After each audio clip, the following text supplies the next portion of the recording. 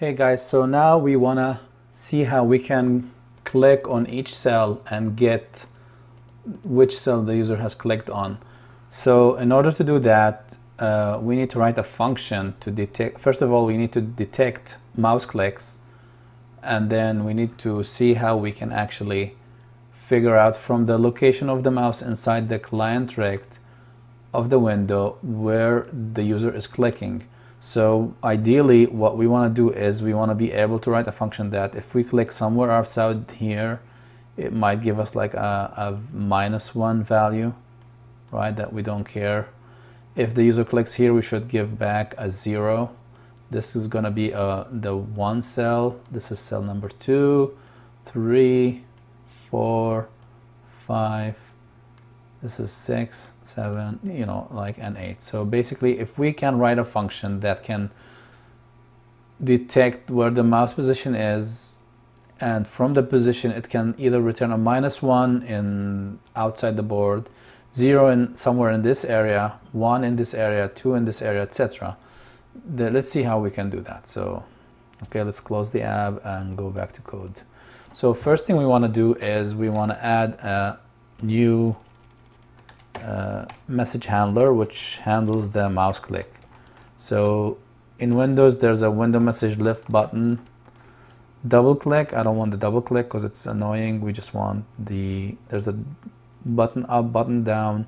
The left button down sounds like a good starting point. So let's use this guy. And if you don't remember the documentation on this we just hit F1 on the on this to launch the Windows help. So here you can see I got MSDN saying that the parameters, the wparam for the message, it's got the control buttons, etc. We don't care about that. The lparam is what's interesting. So lparam has two values for us, the x position and y position. So there's a macro, get x lparam and get y. Given this, it actually knows how to uh, decode this long into two uh, separate integers. So we can just copy paste this close the window go back here. So what we want to do is we paste it here. I want to say integer x position integer y position. And you see why this thing has a red squiggly line underneath? Because it's not defined I think this is defined if you go back read that documentation it says it's defined inside windows x.h file. So we can just simply here come here and say include that file windows x.h and it's just a file if we don't want to open it you can right click here I'm sorry. You can right click and say open file open document which is the same as control shift G. And if we say get see here this is where it's defined. It's the low word high word etc I mean that's maybe too much details but you get the idea. So let's go back to our message. Okay here's our message. We got the mouse X and Y position. So now ideally what I want to do is given the position let's write a function that gives us the number of the cell given the point. So let's create a function. Uh, ideally, I want to create a function that returns me an integer index equals get cell number from point. So given a window handle, X position and Y position inside the window, there should be a function that can give us the values we discussed 0 to 8 for any cell inside the game board or minus 1 if it's outside the game board. So let's see how we can write this function. Let's go back here. And here it's a integer. Get cell number from point. Give it a, an wind, integer x and integer y positions right? This is the function that we want to write. And so I think this is where we can use the uh, the other function that we wrote get uh, what was it called? Get board game board. It was on oh yeah it's here on the top right? Get game board. So I think what we want to do here, first thing we want to do is we want to define a rectangle structure and say uh, if get game board, if that's successful, we can return, we can do some, here we should return minus one because if we're not successful then the, ideally outside uh, game board or failure. We don't care really just it's a minus one. Okay so now how do we detect if the user actually clicked inside our game board so what do we have here? We have the game board rectangle which tells us the dimension of the game board. We've got the x and y of the mouse position. Okay so this is easy. So we can compare if the x and y are inside of the game board rectangle, then we have successfully uh, click inside the, the game board. So instead, instead of writing uh, our own code to do this, mm, there's a Windows API, luckily for us, that does exactly that. It's called PtInRect. It checks if a given point is exactly actually inside a rect. So we have the rectangle, it needs a pointer to rectangle, and it needs a pointer, a point structure. So we want to define a point pt and then we can say pt.x equals our x, pt.y equals our y. This is one way to populate the structure. Another easier shortcut, which is like this, you can just simply say populate it from our parameters. Quick, cool. So now if the point is inside our game board rectangle, then the user clicked, user clicked inside game board. Now we need next to determine where exactly in the game board the user is clicking. So how do we do that? We know that we have the X and Y of the mouse position and we know the dimension of the, of the rectangle of our game board. So so this is the starting point is the rectangle and it, the mouse point could be at the very edge or somewhere inside. So what we need to do actually is we need to normalize. So let's normalize our x and y. So meaning that it should always start from zero to three times cell size. Let me explain that in a minute. So I want uh, my x to be an offset from the rectangle. So pt.x is the same as x right now. We know that the mouse cursor is always, the dimension, the, the location of the mouse cursor is always going to be, if it's inside the rectangle, that means it's going to be always higher than the left side edge, the top left of the rectangle. So simply if we say minus rc.left, what we do in this case is now we're using the left edge as a reference point. So that means how far from the edge of the game board is the mouse. So ideally, this can this x value is going to go from zero all the way to the since it's inside the rectangle right to the last right edge which is three times the cell size so x is going to have a value and that's what I mean by normalize x is going to have a value from 0 to, to 3 times cell size. We said cell size is 100, I think. In this case, the value of x is going to be from 0 to 300. Cool. All right, similarly, we do the same for our y dimension. So dot top, right? So how far is the y from the top edge? Now we got a normalized x and y. It's going to go from 0 to 300. So now how do we find the column and row of the cell given this? So well, that's a simple math division, right? Column equals x divided by cell size. And since we are using integer division, we're not going to get fractions here. So if x is 0, then we get 0. If x is 100, we get 1. If x is a 101, we get 1. If x is 200, we get 2. If x is 300, we get, which is the maximum, we get 3. So, So now this is going to give us the column numbers, right? Integer row equals y divided by cell size. So now we get the column row. Let's let's actually do something interesting. How do we how do we display this?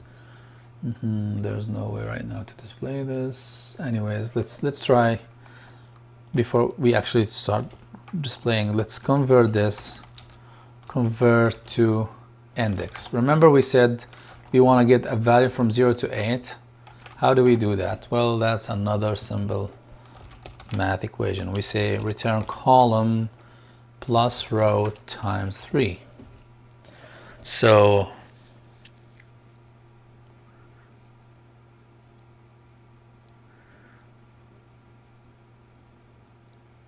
let's let's see I mean let's test this out. Right now we have two return points either minus one or a value from here right if the point is inside the rectangle. Cool now we have this function. Let's go give it a try. Let's move back to the left button down. I think we have said this is where we want it right? Just for testing let's try to actually when the user clicks on a position let's try to write some some text there that reflects the index. Let's see how we can do that. Mm -hmm. So I need to mention here that normally inside a WM Paint we have the device context. Every time we want to draw on a window we need the device context and since we're inside the left button down message we don't have the, the device context keep in mind I want to use a function called text out here that takes an HDC, takes an X and Y, and prints out a string. So I don't have an HDC. How do I get one outside the paint message? Well, there's a Windows API for that, of course. Get DC, right? Given a window handle, you can get the DC. And this also might return null. So if null is not HDC, then we say, okay, we can draw now, but also remember we need to release the DC that's per requirement from Windows APIs is that once you're done you just release it. And that's what we do here. So now let's let's text out on HDC at the X position Y position the user clicked on some text here. We want to print out some text. Okay so this Windows API actually, if you look at that, let me just hit Control Shift space. It requires a white string, LPCWSTR, which is a white string. Okay, so we can do that. We can say wchar temp. Let's give it a hundred character size, and we can here display the temp. And it also needs an integer c, which is the length of the string. Well, that's simple. If we just say uh, string length, string of temp, that should give us the string. Uh, so this requires the one. There's a a Unicode version, which is this one, L string which requires you to, which return, you know, uses a Unicode version. Right now, the white character is Unicode. So, but now the temp string has nothing in it. So, how do we fix that. Okay, we can say printf string printf into this like we can say index equals percentage d and we give it the index value. And this has to go into temp because it's a string printf not a printf on the screen. So it still have a red squiggly. I know why because this requires a Unicode string. We need a Unicode string here and let me see what else is there? Oh I'm sorry I think this is it should be the wide version. I know this is a little bit confusing but this is how we use it. Or I could have done the ANSI version if you just put A here and then you can just make it all just typical character. Forget about this forget about this that's and then this becomes a string printf and of course this is, looks like this is not defined. We have to include uh, string functions for this. Or we can just say wsprintf all right this works too. If this is confusing to you I mean let's uh, I don't know if this is confusing to you let me undo all this and just stick to the Unicode version because really it's good to know about Unicode. Let's stick to the Unicode version like this okay? We have a Windows printf this is part of Windows API it, you don't need an include for it. This is a Windows API as well and this is all we have. So now what we're doing here is we are calling our get cell number from point remember this might return minus one or it might return a zero to eight value. I just want to verify some something. We don't we don't have any bug. That's why we have this code to actually print out on the screen the value of index. So let's hit Control F5 and see this in action. Okay click here. Okay index minus one as I click anywhere here this is all index minus one. Nice. And keep in mind that this stuff that we draw outside the WM paint it doesn't stay forever. So meaning that anytime you refresh it all goes away. It doesn't stay because we're not drawing inside the WM paint. We're just temporarily drawing some by using the device context. So but anyways now let's look at our board. If I click here okay index is 0 if I click here index is 1 cool here index is 2 index 3 4 5 6 7 8 I wonder if I can get a value greater than 8 here. I'm just testing my if I'm really close to the edge here okay minus 1 cool. So just make sure that I'm just testing my code here making sure it works fine. If I'm right outside the border it's gonna be a minus 1 if I'm inside it's 0 if I come very close here see I'm inside the first cell it still shows 0 and of course it shows it right it draws the text right at the position of the mouse. If I'm just a tiny bit inside then that changes which is exactly what we want. Cool. So now we have a working function that actually gives us the index of any cell we click on. So we have the basics of, of the game in place right now. So now after we click like that, let's see what we want to do next.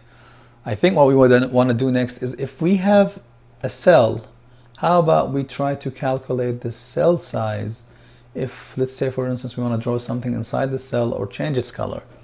Let's start with changing its color. That's an interesting one.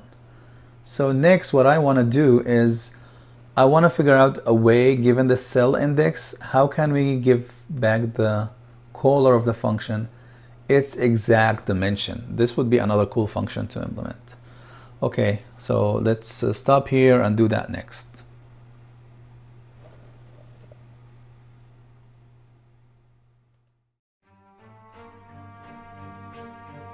Thanks for watching. Please leave a comment or share with your friends. Don't forget to subscribe to my channel or like us on Facebook. See you in the next video.